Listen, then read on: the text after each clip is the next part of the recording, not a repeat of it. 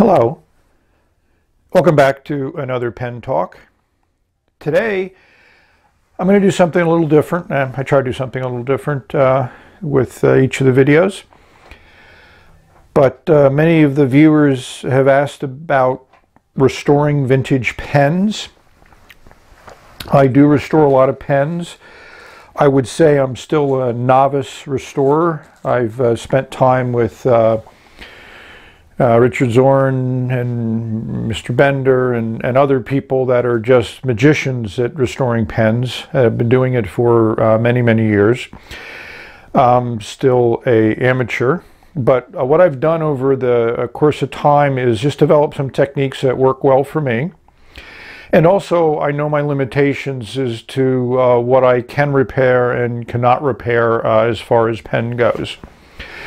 So uh, opening up a box of my pens that I've collected over time, I came across these two pens and decided that they would make uh, good subjects for a restoration video. One of the things that I like is the similar coloring in the two pens. Let's take a look at this one first. Uh, I'm not used to this light at this angle, but we'll get it going. So on the clip is the name New Banker. It's one of those uh, lesser known brands of pens, uh, mostly from the 30s. And they're mostly known for their uh, combos, which are pen and pencil combinations. I do have a few uh, New Banker combos.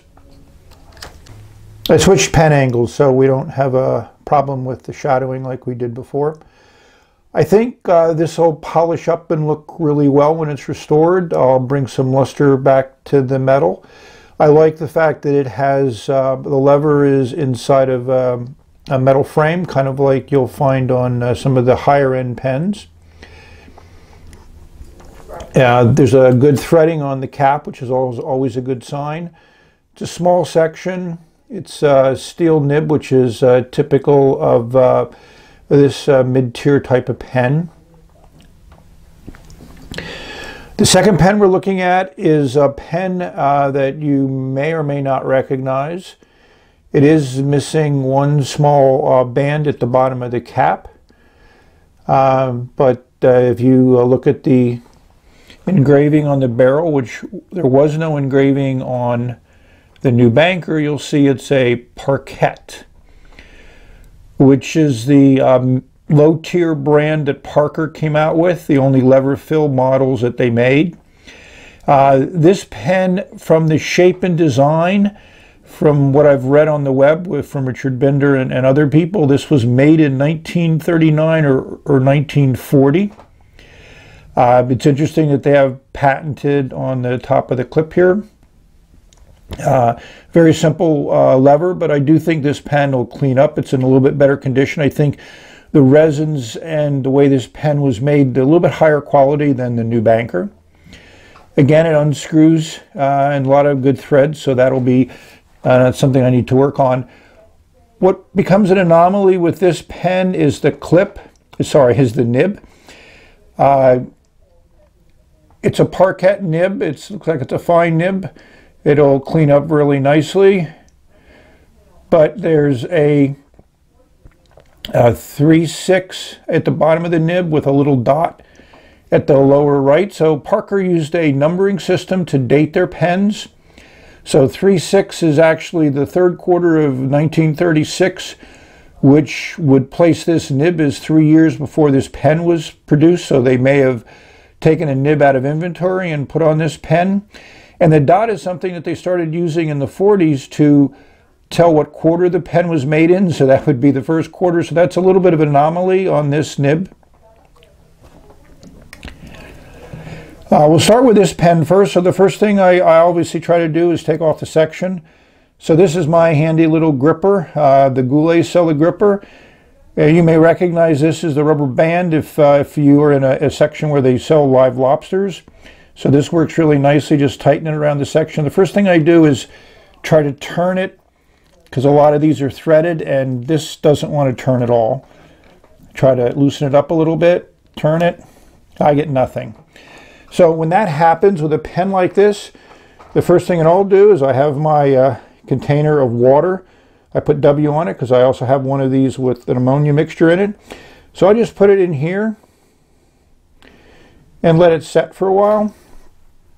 I'm going to have the, the water so it doesn't get up to the lever. Now it'll go up to the lever. So we'll let that soak and I could let that soak for days. Uh, one of the things that I've learned in working on pens is never force anything. Uh, try to get it to work easily. So we'll look at the, the new banker next to see if we can disassemble this one. And right away this uh, section just moves very easily and it comes out very easily. So uh, to me the first thing I notice is uh, there's uh, no sack material at the bottom of the section. So this pen has been taken apart before, potentially to be restored. We'll look inside the barrel and there's no bladder, old bladder with inside the barrel. Um, the lever works nicely. So this pen is uh, ready for uh, restoration.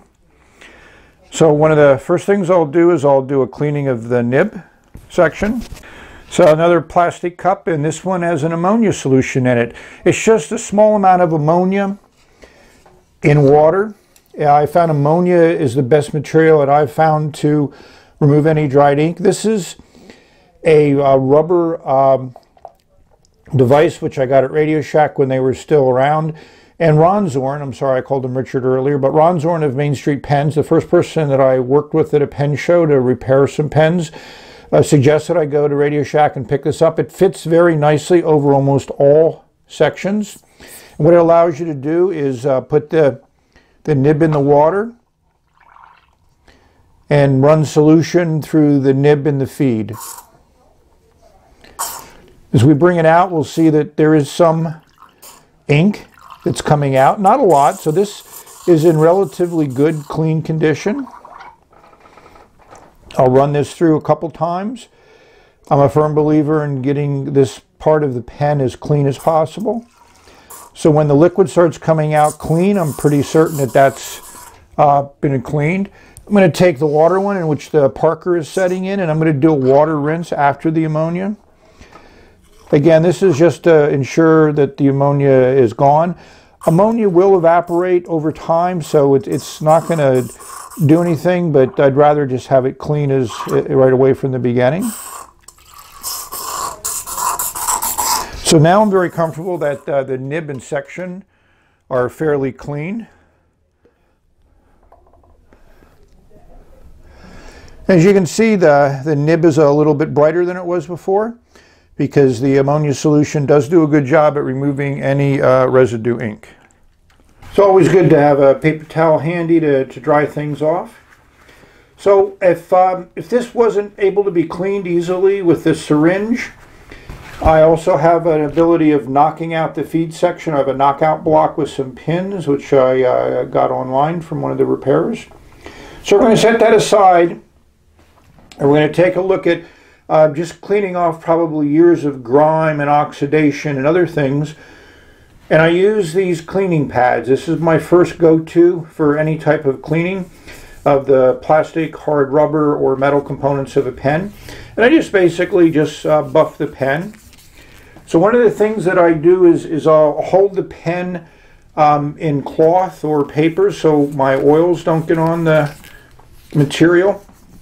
Because uh, in the end I'm going to wax this and then I'll feel the material is uh, pretty much preserved. As you can see, the luster starts to come up really quickly. I mean, it doesn't take much effort at all with this type of uh, polishing pad. And I'll show you a link. I buy these on Amazon. Uh, they're still readily available. What I like about this, some people might use a, a paste or something, and sorry about the camera vibrating. But I just, just buff this all over, going in many directions, back and forth.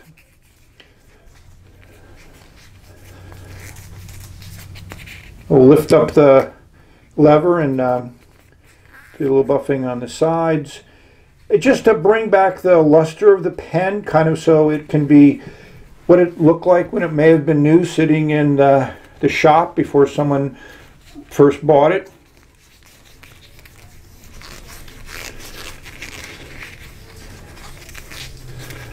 So hopefully there you can see real time how the pen really brightens up and takes on a new look. So we're going to do the same type of uh, procedure with the cap. And as you can uh, you notice, it doesn't take much effort to take off uh, 50, 60 years of corrosion or use. A lot of times the center band moves on these pens, so I'll do, uh, you know, movement horizontally so it doesn't, uh, you know, just move the band around and it actually does do some polishing. And again, as we saw with uh, the barrel, this cleans up very well. Uh, I kind of picked this because I kind of expected it too, because my other experience with New Balance, sorry, New Balance, they're, they're the shoes that I wear. So I apologize about that. We had an interruption. Uh, the battery uh, ran out on my camera. One of the challenges of being uh, the editor, the filmmaker, the actor is uh, you can't keep track of everything. So uh, as you can see, the cap is cleaned up fairly well. I mean, it looks it looks nice. So now the next step that I do is I put wax on it. This is a very popular wax used by a lot of restorers. Some people use carnauba I've gotten into that and I think it might work better on hard rubber, but I found that uh, this overall does an excellent job. So I use, this is just, uh, you can get these cloth shops, they come in a roll like paper towels and they just have a little bit more uh, they don't wear and they don't shred like paper towels do. So I find these are good for putting a little bit of wax on it. And again, I, I grab it with uh, the cloth and I just uh, apply it. Again, I just want all the surfaces evenly coated. Uh, this uh, was used by the British Museum to preserve things in the museum, so it, it has properties that will keep that luster in there for a while. I'll pop the lever and also do a little bit on the lever. Again, the, the key thing is, is after we've done the polishing, uh, we want to put on some type of preservative coat on top to keep it looking nice forever. Now we'll do the same thing to the cap. You just need a little bit of wax. I mean, I got this uh, wax probably about six months ago and I've used uh, maybe about a fifth of it. It's a small container, but you don't need much. A little bit goes a long way, as they say.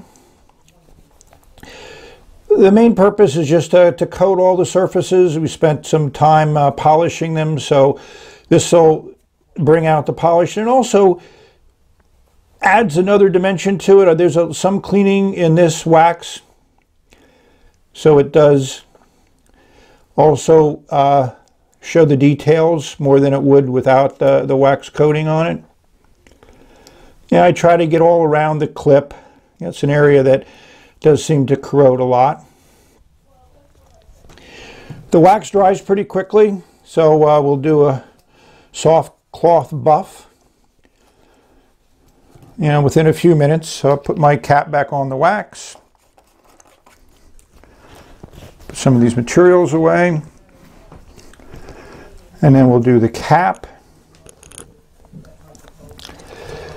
So I'm, I'm impressed with the way that this has come out. You know, it certainly has uh, the luster and the sheen as one would expect. I think that center band I could do a little bit more work on, but uh, for the purpose of this video and showing restoration, uh, that should work. So the next thing is to find a bladder to go into the pen. So I have a series of bladders that I've uh, collected over time. Uh, they come in different sizes. Uh, some of them are numbered like a 14 through 22. Um, with looking at this pen, my first response is I think like a 17 would work well. So let me find a 17 in my uh, collection here.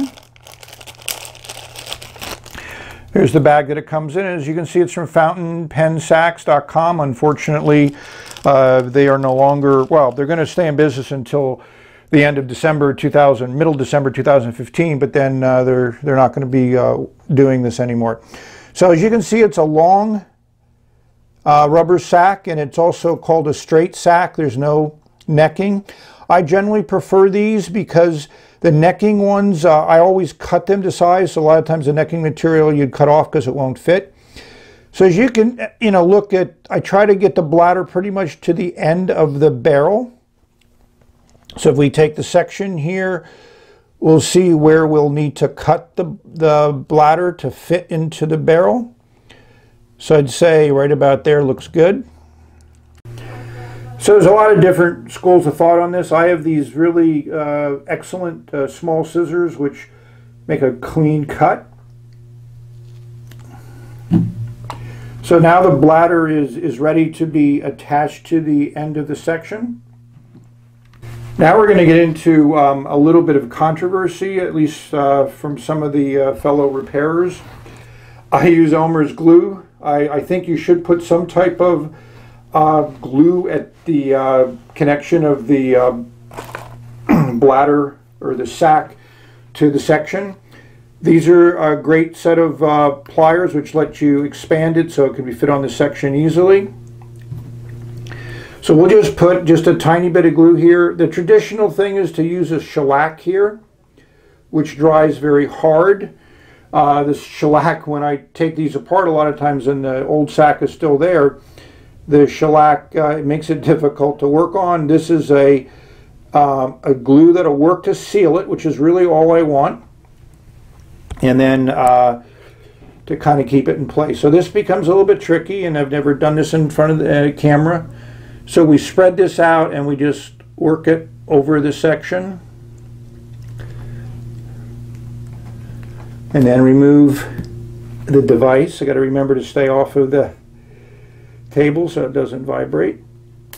So now the, and I do a little twist just to get everything apart, and it should be pretty straight on the section. So we'll set that aside, and I generally let it set for, uh, I'd say a day before I reassemble it, just to let the glue and everything set. So meanwhile, we're going to go back to the Parker that we couldn't get the section out of. It's been soaking, uh, you know, through this video into the water.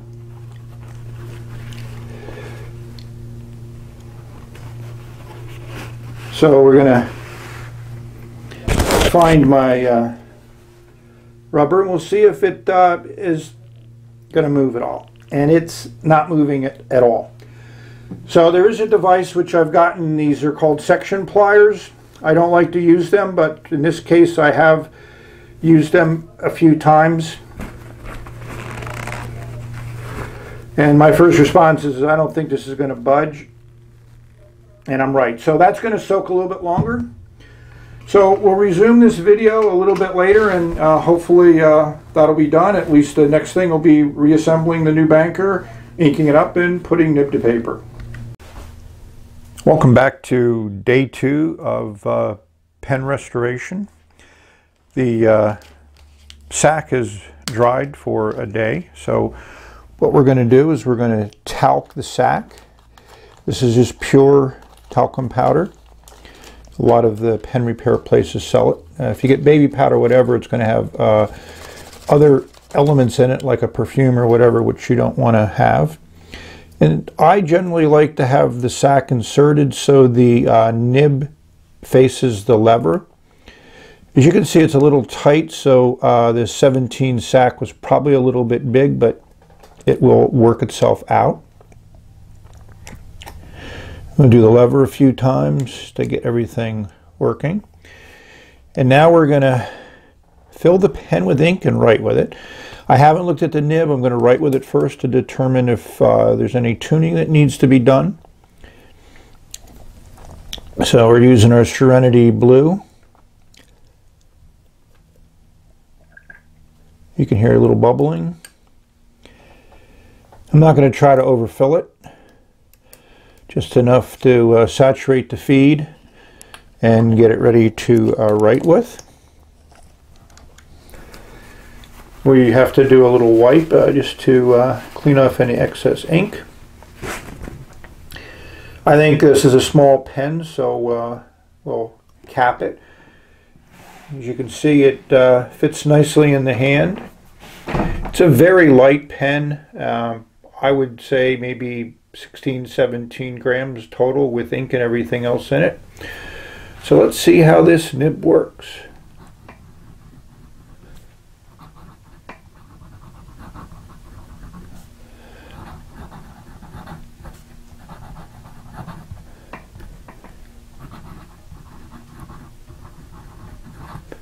Well, my first response is um, it's a great steel nib. It's nice and smooth. As you can see, it's a really fine line.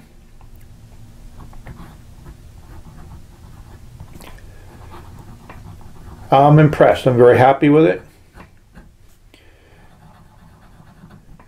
So uh, again, hopefully you've been able to get an appreciation for turning uh, vintage, maybe not something that someone would consider desirable, into a nice writing instrument which uh, is a nice addition to uh, my collection.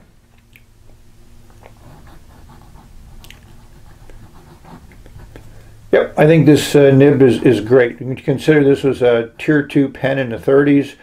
Probably sold for a dollar. That seems to be their target uh, for these types of pens. So now we've uh, had one success. So now we're going to go back to the Parker which has been soaking for a day now. And I have put ink inside the barrel, so we got ink on both sides of the section, or sorry, water on both sides of the section. And hopefully what's holding in the section is dried ink.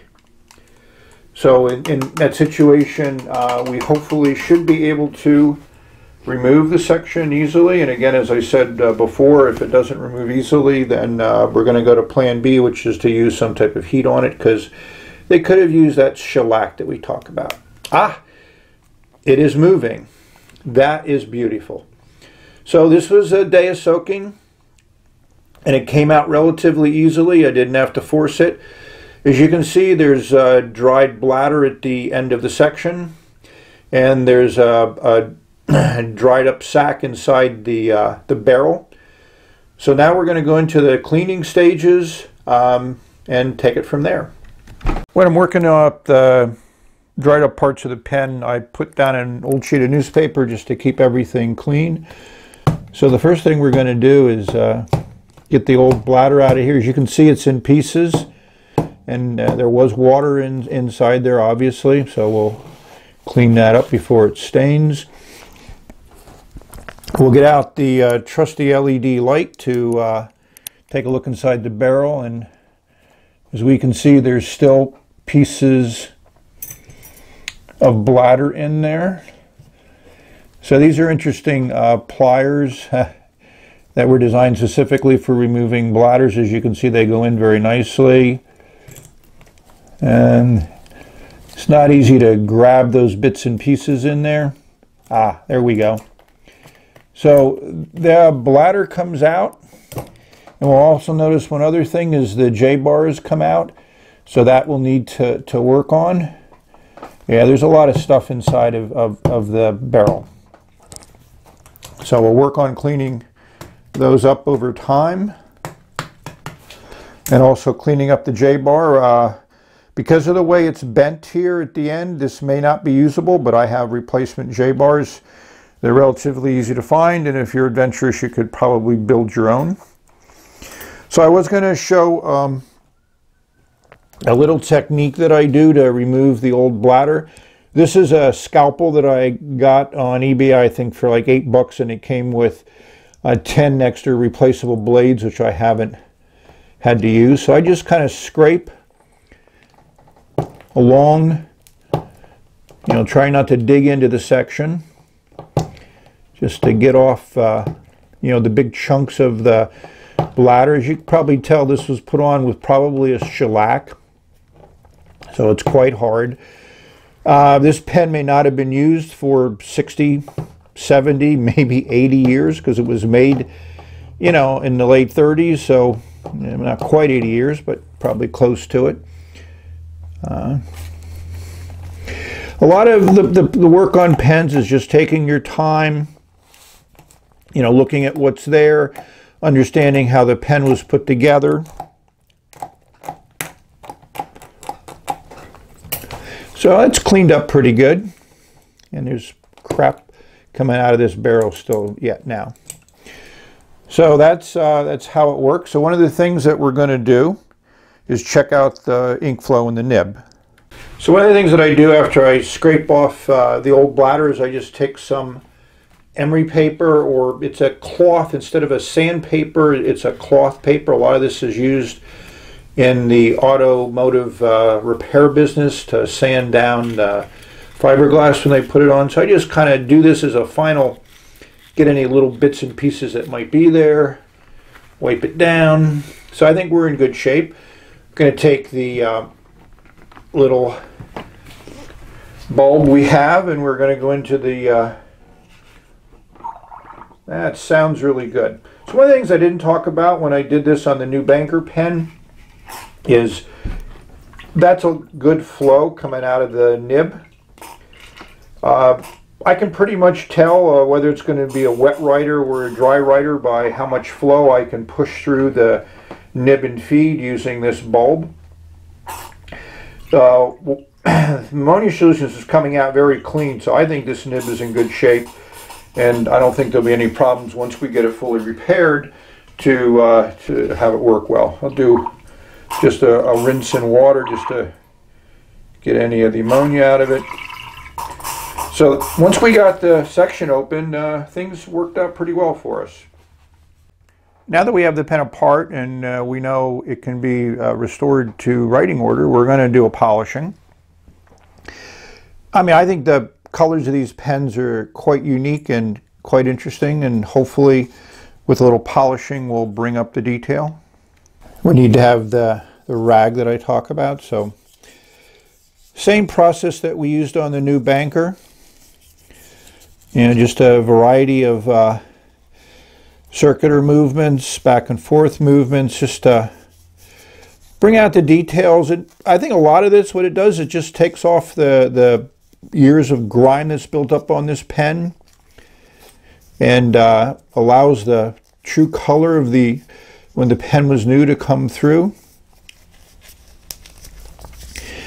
Now the gold plating, and a lot of this may have been gold filled, probably just low level it was just gold plating, but you know, it doesn't really wear off that easily with this type of uh, polishing. And hopefully you can see that the, the colors have come out much more intense. You can see that the lever is shining up nicely. We'll just uh, focus a little bit uh, of attention on the lever and get off some of the grime that's been built up in there. And there it's looking uh, a little better.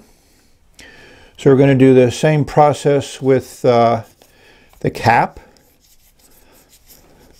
And again, let's take a look at the clip before. And we'll see if the magic of this polishing pad comes through. I just uh, I've you know polished stuff a lot over the years, and this pad just to me is just the most amazing thing I've ever used. Um, you know, liquids are nice, but they can be sometimes too aggressive. Sometimes they might not work well with the plastic, but this uh, polishing pad works on almost any type of material, even hard rubber. If it's a soft material, it's not the thing you want to use on a soft material, but uh, with a pen, there's not much soft material used.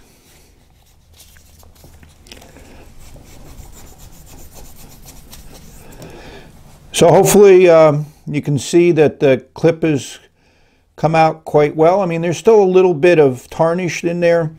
Sometimes I think that just, uh, I call it a patina. You know, this is a pen that's over 60 years old, so you're going to expect some age on it. I'm just going to do it's hard to sometimes in front of the camera keep the pad focused on the areas that we want to clean up. So we're going to focus a little bit more because I think the, the clip can come almost back to mint condition with the right amount of careful attention.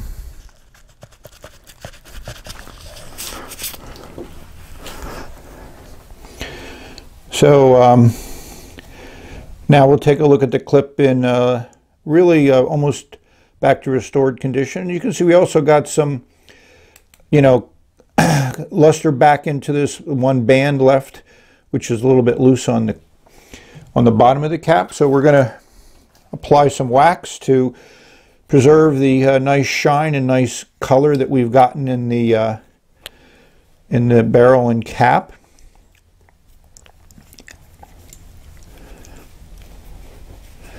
The clip is, uh, sorry, the lever is loose because there's no uh, bar inside to put pressure against it and keep it in a closed condition, closed position.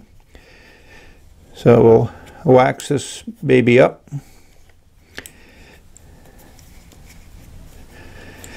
And to me, the, the as I mentioned before, the wax I think also tends to add that one more level of uh, bringing out the detail, uh, maybe cleaning off a last little bit of uh, grime. And you know, the polish levels the surface. I mean, that's the whole purpose of this process is to make the surface smooth so you don't get any diffraction of the light on the surface and you get that shine. And also it brings out uh, the details that are in the material of the pen.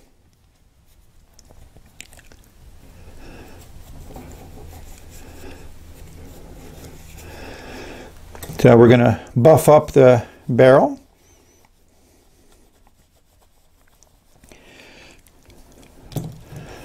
Buff up the cap. Old old t-shirts are great for this uh, activity. The clip has a nice spring to it, so that's good. So now we have the pen, I think, restored to a very excellent condition. Uh, love the, the gloss. I love the colors in this pen. Uh, you get more of the detail now, I think, in the resin than you did before. That's uh, one of the things that the polish is able to do. This is a unique combination of colors. I don't think you'll find this in any other Parker, so that's what's nice. So now we're going to work on the pressure bar. Uh, these are tricky because a lot of times the metal has aged and become very brittle. As you can see, the pressure bar broke. Uh, so this really wasn't going to work in the pen. So now we're going to have to go to a replacement bar. So I happen to have some uh, replacement J-bars as they're referred to because of their shape. And as you can see, this one is a little bit short, but I think it'll work fine. All it needs to do is have the lever press against the bar here. So the key to getting this to work is to keep the bar in place underneath of the lever. And this is a two-piece one. I think all the ones I have are two-piece, which is a little bit different design than than the one that's there, but that should be able to give it a good uh, consistent pressure against the bladder. The, I think the key to the, getting this to work, and I haven't really done this before, so this is my first time, is to keep it in line all the way as you push it in, and he'll go to our trusty forceps here, which are a nice tool. Nope, I need something a little bit bigger. Hold on. So I'm not working at my normal bench, so I don't have these tools readily available, but just this is a slightly larger rod, which will give us more control in inserting the J-bar and keeping it in place. So it's all the way in, and that sounds good. And take a look inside, and uh, looks like the J-bar has lined up really nicely with uh, the lever. So we're in good shape. So one of the things I'm going to do this time that I didn't do with the new banker and probably uh, we ended up with a too big of a nib, uh, sorry, too big of a sack. Uh, I have a lot of problems sometimes with the right words to describe the action. So we're going to start with a number, nine, a number 18 sack, so a little bit bigger. And as you can see, it, it goes in pretty good. Yep, I'd say that's as far as the J-bar lever is back there. So we're going to take, as we did before, we'll take the, the section, tie it off there, find the spot that they work together, and I'm, I'm going to give it a little bit of a cut off, another couple millimeters, so it'll fit easily inside the barrel. We'll trim that. We're going to get our trusty tools and the controversial glue that I use. So we're going to glue this up and then uh, after it sets for a while uh, we'll ink it up and uh, put nib to paper and see how this pen is going to work. That is the true benefit of, of this effort. I just enjoy restoring pens. Uh, it gives me a good feeling to bring something back that's been maybe not used for 100 years or so and to have it be able to fulfill the, the function it was originally designed for. As you can see, this is not the easiest thing to do uh, over the camera, but uh, hopefully you find the little tidbits interesting and the little techniques that I've developed and worked on. And if you want to do your uh, own restoration, I'm certain you develop your own techniques over time. Again, the key thing is to just have the bladder fairly straight. And we're going to set that aside and let it dry. And we'll take a look at it when it's ready to be inked up to write. So now we're going to see if um, all of our work to restore the Parkette is going to pay off with a nice writing instrument when we're done. So we're going to do a final assembly. We will talc the new sack.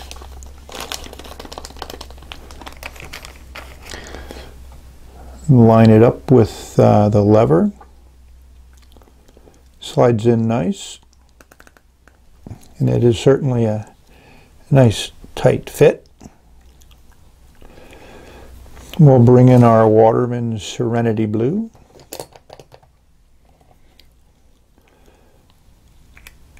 Yep, it looks good.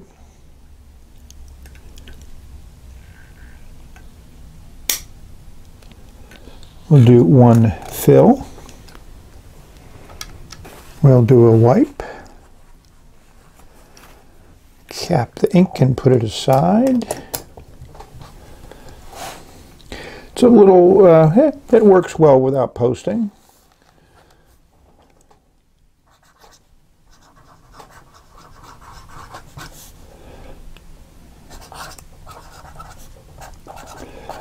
I'm impressed. Very, very pleased. You can hear it squeak a little bit. I would call this a medium nib. It's a little soft, which is nice, but it doesn't spread out much when you uh, flex it.